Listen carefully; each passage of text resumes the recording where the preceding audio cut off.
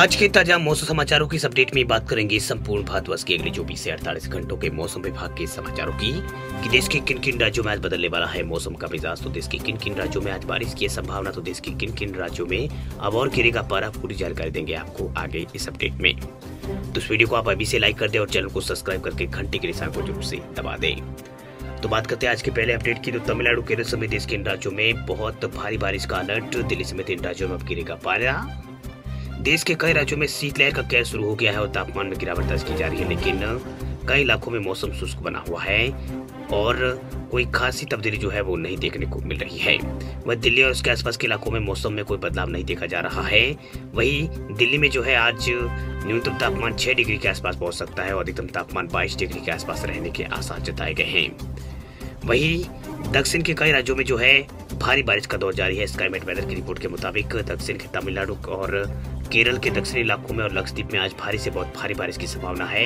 24 घंटे बाद तमिलनाडु और केरल में बारिश जो है कम हो जाएगी, लेकिन लक्षद्वीप में बारिश जारी रहेगी। वह उत्तरी तमिलनाडु और उत्तरी केरल और अंडमान और निकोबार द्वीप समूह कुछ हिस्सों में जो हल्की मध्यम बारिश की संभावना है। आंध्र प्रदेश के कुछ इलाकों में और दक्षिणी कर्नाटक के कुछ इलाकों में बारिश की संभावना है। उत्तर पश्चिम भारत और मध्य भारत के कुछ हिस्सों में न्यूनतम तापमान में जो है आगामी दिनों में गिरावट आने के आसार जताए गए हैं। न्यूनतम तापमान में गिरावट आएगी।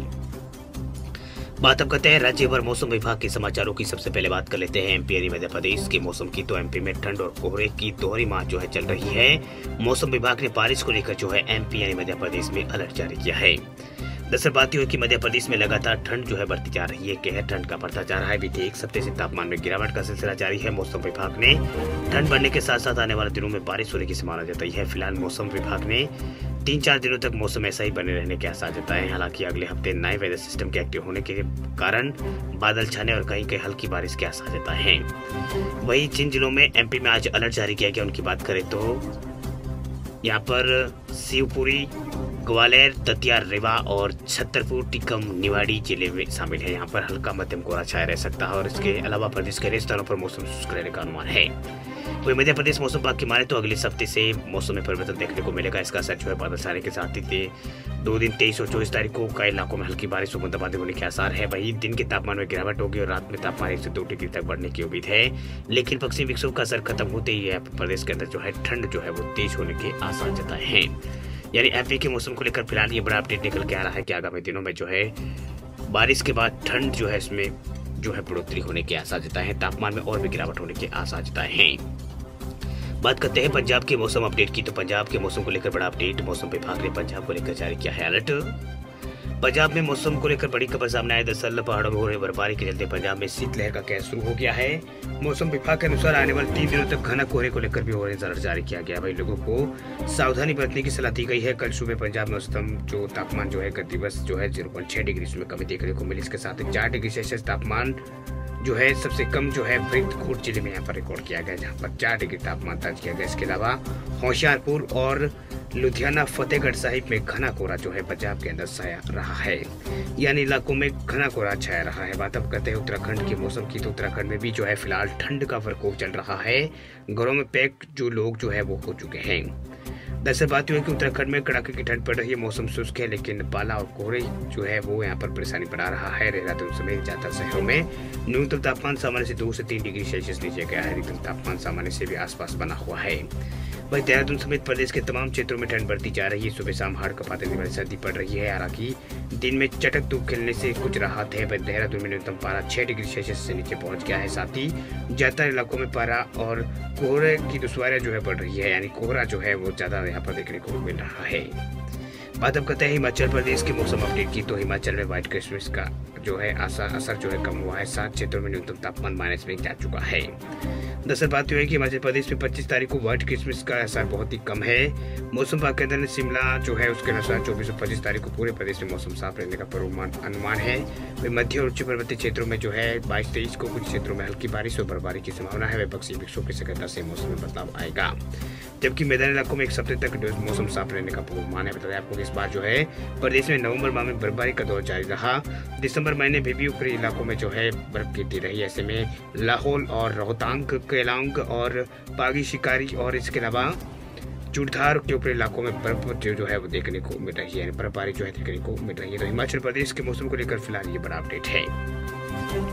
बात छत्तीसगढ़ के मौसम की भी कर लेते हैं सीजी के मौसम को लेकर क्या कुछ आज अपडेट है तो बता दें आपको कि छत्तीसगढ़ में ठंडी हवाएँ जो है वो ठिठुरन बढ़ा रही है। आने वाले दिनों में तापमान में गिरावट आएगी। दरअसल छत्तीसगढ़ में ठंडी हवाओं का प्रकोप से तापमान लगातार गिर रहा है। प्रदेश में आज से मौसम शुष्क रहेगा। सुबह और रात के समय ठंड जो है अधिक बढ़ रही है। इस क्षेत्र में पक्षी विषयों के कारण पूरे प्रदेश में ठंड का प्रभाव अगले कुछ दिनों तक देखने को मिल सकता है। मौसम विभाग के पूर्वानुमान के मुताबिक बारिश होने के आसार बहुत ही कम है लेकिन दिन में जो है बादल छा सकते हैं। वही मौसम विभाग के अनु, जो अनुमान है उसके मुताबिक छत्तीसगढ़ में कई शहरों में जो अंबिकापुर है और जगदालपुर है और जगदलपुर और रायपुर, बिलासपुर और दुर्ग में इस प्रकार मौसम रहने का पूर्वानुमान है। रायपुर में न्यूनतम तापमान बारह के आसपास रहेगा, अधिकतम छब्बीस के आसपास जा सकता है। इस तरह का अपडेट जो है फ़िलहाल निकल के सामने आ रहा है। जम्मू कश्मीर के मौसम की बात करें तो यहाँ भी कड़ाके की ठंड जारी है। गुलमार्ग जो है सबसे ठंडा स्थान रहा है। वही गुलमार्ग में माइनस आठ डिग्री पारा गया है। मौसम की बात करें तो सबसे ठंडा ये जम्मू कश्मीर में इलाका रहा है। श्रीनगर शहर और जम्मू में आसमान साफ़ रहा। श्रीनगर में घाटी समेत कुछ इलाकों में जो है न्यूनतम तापमान में थोड़ा सुधार आया है। यहाँ जमा बिंदु से पारा जो है ऊपर आ गया है। मौसम विभाग ने आज भी यहाँ पर मौसम शुष्क रहने की बात कही है। वही गुलमार्ग समेत कश्मीर के ज़्यादातर ऊपरी इलाकों में जो है आज अच्छा खासा जो है हिमपात हुआ था। वही कल भी यहाँ पर कुछ इलाकों में यहाँ पर हुआ था। आज भी यहाँ पर होने के आसार जताए हैं। तो फ़िलहाल ये जम्मू कश्मीर के मौसम को लेकर बड़ा अपडेट जो है वो निकल के सामने आ रहा है। तमिलनाडु और जो दक्षिण के राज्य है, वहाँ पर बारिश हो रही है। तेलंगाना की बात करें तो तेलंगाना में पिछले चौबीस घंटों में मौसम शुष्क रहा। वही कल जो है न्यूनतम तापमान ज़्यादातर इलाकों में जो है, बारह डिग्री के ऊपर ही यहाँ पर रिकॉर्ड किया गया। वही आंध्र प्रदेश में भी बारिश होने के आसार जताए गए हैं। राजस्थान के भी मौसम की फ़िलहाल बात करें तो राजस्थान में जो है, जोधपुर, बीकानेर, शेखावटी में बारिश का अलर्ट जारी किया गया है। दरअसल बात यह है कि राजस्थान के अंदर भी यहाँ पर मौसम में उतराव चढ़ाव का दौर जो है जारी है। राजस्थान में इस समय कड़ाके की ठंड बढ़ रही है। लोगों को ठंड जो है सता रही है, इसके लिए ठंड से बचने के लोग अलाव का सहारा ले रहे हैं। हालाँकि, मौसम विभाग का कहना है कि जल्दी प्रदेश में जो है मौसम करवट लेगा, लोगों को ठंड से थोड़ी राहत मिलने वाली है। मौसम विभाग ने राजस्थान के कुछ इलाकों में बारिश को लेकर अलर्ट भी जारी किया है। दरअसल, मौसम विभाग की माने तो एक कमज़ोर पक्षी विक्षोभ के प्रभाव से बाईस तारीख से राजस्थान के कुछ भागों में बादल छाए रहने का पूर्वानुमान है, इस दौरान जोधपुर, बीकानेर के कुछ इलाकों में, शेखावटी के कुछ इलाकों में हल्की बारिश और बूंदाबांदी होने की संभावना है। शेष भागों में बारिश की संभावना बहुत ही कम है। यानी बाकी जो इलाके राजस्थान के हैं, वहाँ पर बहुत ही कम जो है बारिश के आसार जताए जा रहे हैं। कम ही यहाँ पर जो है बारिश जो है वो यहाँ पर बारिश के कम यहाँ पर संभावना जताई जा रही है। वही यहाँ पर मौसम विभाग का कहना है कि तेईस चौबीस को पश्चिम विक्षोभ दस्तक देगा और कड़ाके की सर्दी से थोड़ी राहत मिलेगी। मौसम विभाग ने तेईस चौबीस को प्रदेश के अंदर हल्की यहाँ पर बारिश की बात कही है इसके बाद जो है तापमान में राजस्थान में गिरावट आएगी। फ़िलहाल जो है राजस्थान के माउंट आबू पारा माइनस एक डिग्री, इसके अलावा सीकर में ज़ीरो पॉइंट सात डिग्री, धौलपुर पाली उदयपुर भीलवाड़ा में न्यूनतम तापमान आठ डिग्री, वहीं राजधानी जयपुर में न्यूनतम तापमान दस डिग्री के आसपास दर्ज किया गया है।